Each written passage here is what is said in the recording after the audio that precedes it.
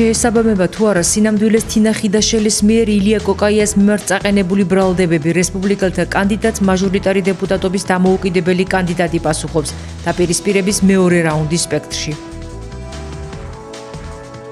რადარის გამოშეცვალა საორგანიზაციო კომიტეტმა სახალხო დღესასწაულების განრიგში ლირიული სიმღერების ფესტივალი ღია თეატრონის ნაცვლად უშანგი ჩხეიძის სახელობის თეატრშია გადმოტანილი.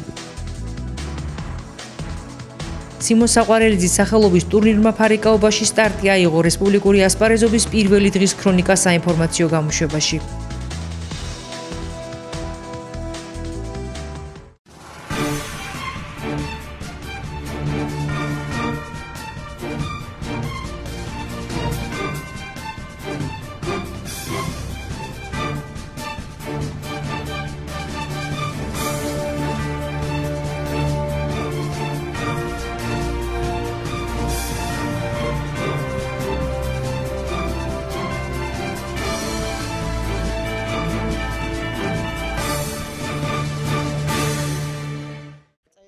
შეესაბამება თუ არა სინამდვილეს თინა ხედაშელის მიერ ილია კოკაიას მიმართ წაყენებული ბრალდებები. უსუფაშვილი რესპუბლიკელების მაჟორიტარი დეპუტატობის კანდიდატი მის მიერ კონფიდენციალურად მოპოვებულ ინფორმაციას ასაჯაროებს, რომლის მიხედვითაც მისივე თქმით ზესტაფონის დამოუკიდებელი მაჟორიტარი დეპუტატობის კანდიდატის ილია კოკაიას წინააღმდეგ სისხლის სამართლის საქმე რამდენიმე წელი არის აღძრული და გამოძიებაც მიმდინარეობს ფინანსურ პოლიციაში. დოკუმენტი, რომელიც თინა ხედაშელმა მედია საშუალებების წინაშე წარმოადგინა, ფინანსური პოლიციის განსაკუთრებით მნიშვნელოვან საქმეთა სამმართველოს უფროსის კობიაშვილის ხელმოწერით ფეროშენადონთა ქარხნის მაშინდელი სამეთვალყურეო საბჭოს თავმჯდომარის ქალბატონ როტრაუც კაჩე დეპიშის სახელზეა გაგზავნილი. 2006 წლის 14 თებერვლით თარიღდება და თინა ხიდაშელის თქმით არის დოკუმენტი ილია კოკაიას მიერ ფეროშენადონთა ქარხნის მესაკუთრეობის დროს განხორციელებული უკანონო მოქმედებების შესახებ 2004-2005 წლებში აქ საუბარი არის 157.3 მილიონი ლარით ფეროს რეალური შემოსავლების ხელოვნურ შემცირებაზე და ეს არის სწორედ ის თანხა, რომელსაც მას ედავებოდა ფინანსური პოლიცია. გარდა ამისა, საუბარია საბაჟო წესების დარღვევაზე, როდესაც 7 მილიონ 900.000 ანუ დაახლოებით 8 მილიონი ლარის ზარალი მიადგა დამატებითი ღირებულების გადასახადის შემცირებაზე 14 მილიონი ლარის ოდენობით, საქონლის აღრიცხო წესების წესების დარღვევაზე, რომელმაც 20 მილიონიანი ზარალი მიაყენა ბიუჯეტს და ასე შემდეგ. ჯამში ჩვენ დაახლოებით 200 მილიონ ლარზე ვსაუბრობთ, რომელიც ბატონმა კოკაიამ მის მიერ ფეროს საკუთრებაში ყოფნის პერიოდში მიაყენა ქვეყნის ბიუჯეტს, რაც შესაბამისად ნიშნავს იმას, რომ შემცირებული შემოსავლებით დაუმალა აქციონერებს და ვერც ერთი თეთრი ვერ მიიღეს შესაბამისად აქციონერებმა დივიდენდების სახით. წარმოება რომელიც იყო აბსოლუტურ მოგებაზე 2004 წლებში ერთ-ერთი ყველაზე უფრო მაღალი ფასად იყიდებოდა ზესტაფონიდან პროდუქტი კომპანია მაჩონა 13 მილიონიანი ზარალი. ამ ზარალი აჩონა სწორედ იმიტომ რომ ფული არ მიეცათ დამსახურებული დივიდენდი არ მიეცათ აუქციონერებისთვის და არავის მოეთხოვა ხელფასის გაზრდა. ჩემი როგორც ზესტაფონის მომავალი მაჟორიტარის ერთ-ერთი ყველაზე მთავარი ამოცანა საქართველოს პარლამენტში იქნება ის რომ ეს საქმე ისევე როგორც ამის შემდეგ ფეროს სხვა მესაკუთრეების მიერ განხორციელებული სავარაუდო კანონდარღვევები ამ შემთხვევაში ჩვენ დადასტურებულ ფულის მოპარვაზე ვლაპარაკობთ. სხვა შემთხვევებში მე ამ წუთას ჯერჯერობით ასეთი მტკიცებულებები არ მაქვს, თუმცა ჩემი ინფორმაციით არ შემდეგ იყო უკეთესი მდგომარეობა. ჩემი მთავარი ამოცანა არის ის, რომ ყველა კაპიკი დავითვალოთ ამ მოპარული თანხების და როგორც შრომით კოლექტივს, ასევე აქციონერებს დაუბრუნოთ მათი კუთვნილი მოგება. ეს ადამიანები ვერ უნდა ბედავდნენ დღეს მისვლა სამომრჩეველთან და ხმების მოთხოვნას, როდესაც ერთ-ერთი მთავარი მიზეზი ზესტაფონის მთავარი ტრაგედიის, ეკოლოგიური ტრაგედიის ერთის მხრივ ონკოლოგიით გამოწვეული პრობლემების არის სწორედ მათ მიერ არასწორად განხორციელებული პოლიტიკა. თინახიდაშვილი აკონკრეტებს, რომ ილია კოკაია საქმე აღნიშნულთან დაკავშირებით არის ფინანსურ პოლიციაში და არა პროკურატურაში, სადაც მისივე დაზუსტებით ილია კოკაიას წერილი აქვს გაგზავნილი. ხიდაშვილი კოკაიას პირველი საჯარო დაპირისპირება ამ საკითხზე GDS-ის ეთერში ток-შოუ 59 წამში შედგა, სადაც დამოუკიდებელმა მაჟორიტარი დეპუტატობის კანდიდატმა უსუფაშვილი რესპუბლიკერების დეპუტატობის კანდიდატს დოკუმენტური მასალების წარმოდგენა მოსთხოვა წაყენებულ ბრალდებასთან დაკავშირებით.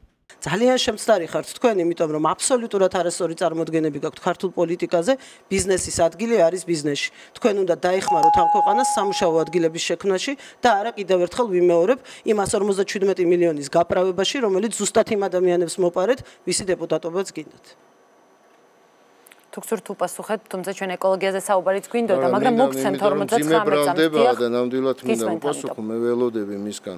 ამ გაправებულ 157-მე, არა, ვერ მომცემ თქვენ მაგას ხვალდილეთო, იმიტომ ეს არის პროკურატურის საქმე. ნუ მედავებით რა ქალბატონო თინა, მე არა ვარ პოპულისტი თქვენსავით, რომელიც აცხადებს აქ რაღაცა უსახურ ბრალდებას თინა ხედაშელის ბრალდებებისა და გასაჯაროებული დოკუმენტის შესახებ დამოუკიდებელი მაჟორიტარი დეპუტატობის კანდიდატმა ილია კოკაიამ განცხადება მალევე ამორჩევლებთან შეხვედრის დასრულებისთანავე გააკეთა.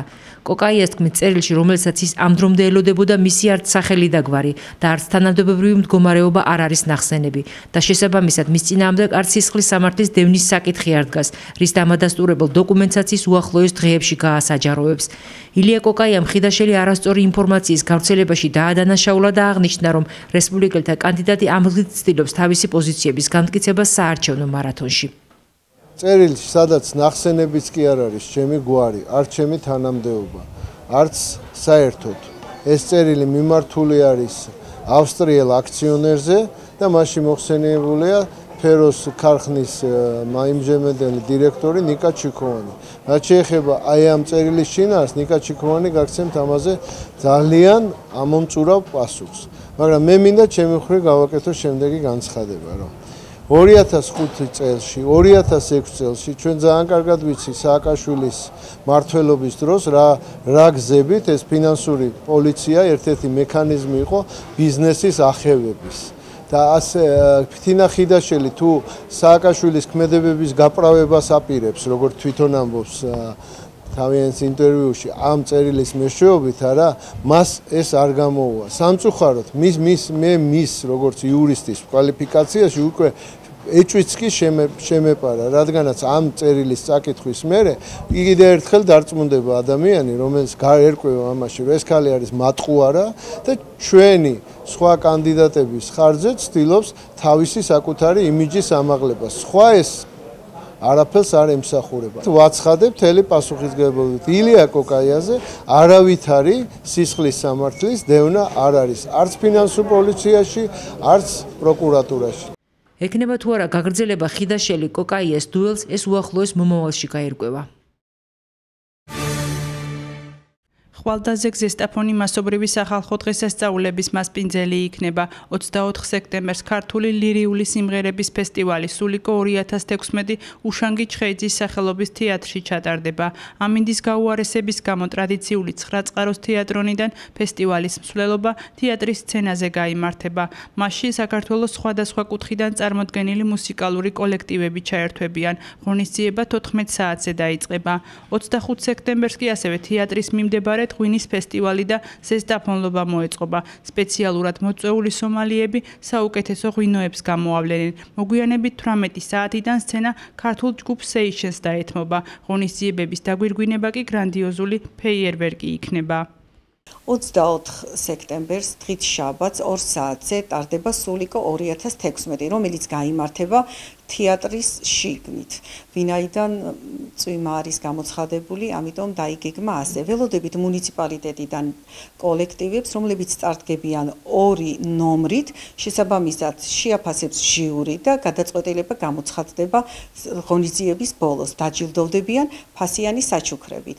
რაც შეეხება მეორე დღეს, 25 სექტემბერს, ვიწყებთ ღონისძიებას დღით 3 საათზე ზესტაფონლობა და ღვინის ფესტივალი, სადაც მოწვეული იქნებიან სომელიები, შეაჯამებენ შეფასებას, გამოვლინდება გამარჯვებულები ღვინის ფესტივალში და ასევე ბოლოს 6 საათზე გამართება კონცერტი, სადაც გამოვლინდება საპატიო ზესტაფონლები, დაჯილდოვდებიან შესაბამისად გადაეცემათ ფასიანი საჩუქრები, ბოლოს ფეიერვერკი და ვეპატიშებით ყველა ზესტაფონელს ორ დღიან ღონისძიებაზე. ზესტაფონში დღეს სტარტი აიღო სიმონ საყვარელიძის სახელობის ტურნირმა ფარიკაობაში. ტურნირში მონაწილეობას საქართველოს 6 სხვადასხვა რეგიონიდან ჩამოსული კოლექტივი იღებს. შეჯიბრი სამდღიანია. დღეს ერთმანეთს ზესტაფონელი, ქუთაისელი, ბათუმელი, რუსთაველი, თბილისელი და აფხაზეთიდან ჩამოსული სპორტსმენები ხმნით ფარიკაობაში დაუპირისპირდნენ. ეს დაიწყო სიმონ საყვარელიძის ტურნირის ტურნირი. ეს ყოველწლიურად წელს უკვე მეოთხედ ტარდება. არის სამდღიანი შეჯიბრი მონაწილეობენ თბილისის, რუსთავის, აჭარის, აფხაზეთის და ზესტაფონის გუნდები, რომლებიც ეს პატარა ასაკის ბავშვები არიან, ყოველწლიურად გამოდიან და ძალიან კარგი ტურნირია. ზესტაფორმა დაარსა მისი სახე საყვარელი სახელობის ტურნირი და ნახოთ რა იქნება. ეს დაიწყო პირველი დღეა, ველოდებით კარგ შედეგებს. გამძლდება ხვალ და ზოგ და ნახოთ ბოლოში რა იქნება, როგორ იქნება. ალბათ ზესტაფონი როგორც ყოველთვის ყოველთვის იყო პირველები და ეს წესდასაც პირველი ადგილს აიღებდა. მე ვარ ბათუმიდან, შეჯიბზე მოვედი ზესტაფონში და ახლა მე მონაწილეობ 4-იან 4 წლიანებში მოვიგე რამდენიმე ბრძოლა და შევატყი 4 კაცში. ახლა უნდა ვიფარკავ ორ შესასვლელი და თუ მოვიგე, მაშინ შემფარიკავ ფინალში. ტრადიციული ტურნირი ზესტაფონში 4 წელია ხორციელდება. გასულ წელს სიმონ საყვარელიძის სახელობის ტურნირში ამირან ჭანტურიძის გაწვრთნილმა ახსაზრდელებმა დიდ წარმატებებს მიაღწიეს. მისი თქმის შარშანდელი ჩემპიონები ნინი ნიკაბაძე და ანა მაჩიტიძე საქართველოს ნაკრების წევრები არიან და საზღვარგარეთ ასპარეზობენ. რაც შეეხება წლევანდელ მონაწილეებს, ზესტაფონიდან წვრთნელს მათთან დაკავშირებით კარგი მოლოდინები აქვს. რასაც საკმაოდ კარგი მოლოდინები გვაქვს, ერთი ბავშვი უკვე ფინალში არის ეს არის ფრანგიშვილი კესო რომლისგანაც უკვე აი წარმატებას ველი ახალი დამწყებია 2006 წელშია დაბადებული ბავშვი. ძალიან პერსპექტიულია და გვაქვს იმედები რომ წარმატებას მიაღწიოს. ასევე კარგი მოფარიკავენ ერთი საერთაშორისო ტურნირის გამარჯვებული არის აფხაზეთის დასიაკ მოგებული გიორგი გაჩეჩილაძეს რომელიც მას ეხლა ეს უთია დაამთავრა შეხვედრა და ნახევარ ფინალში გავიდა და მაგისგან კი წარმატებებს ველოდებით. გვაქვს წარმატებები. ორი ბავშვი, რომელმაც უნდა მიიღო მონაწილეობა ამ საყვარლის სახელობის ტურნირზე, ამჟამად ერთი ისრაელში მყოფება სოფლიო თასის გათამაშებაზე, მეორე ბავშვი ეს მაჩეტიძე ანა, ხოლო ფრანგიშვილი, ისა ნიკაბაძე ნინი პოლონეთში ჩაფრინდა დღეს ისიც დიდ საერთაშორისო ტურნირზე მონაწილეობის იმსახებად. მაგრამ უკვე საქართველოს ნაკრების სახელით გამოდიან და ამიტომ არ მიეცათ იმის საშუალება რომ ამ ტურნირზე მიიღოთ მონაწილეობა ზესტაფონში.